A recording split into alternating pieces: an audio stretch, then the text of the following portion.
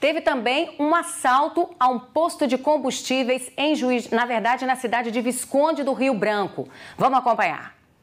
O frentista está limpando o posto de combustíveis que fica na Avenida São João Batista, no centro de Visconde do Rio Branco. Era 4 horas e 49 minutos da madrugada de segunda-feira.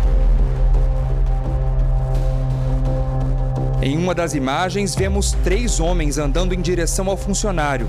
Dois deles estão com o rosto coberto. Eles anunciam o um assalto. Um dos rapazes está armado. O outro pega uma vassoura e bate no frentista. A todo momento, eles ameaçam o funcionário. O suspeito, que está armado, aponta o revólver para o homem. Enquanto isso, o rapaz de vermelho mexe nos bolsos do frentista. Eles roubaram o celular e o dinheiro do funcionário. Antes de fugir, um dos assaltantes quebra a vassoura na cabeça do frentista do posto. Segundo a Polícia Civil, os suspeitos são adolescentes. Os jovens ainda não foram localizados, mas a Polícia Civil já solicitou o acautelamento dos envolvidos.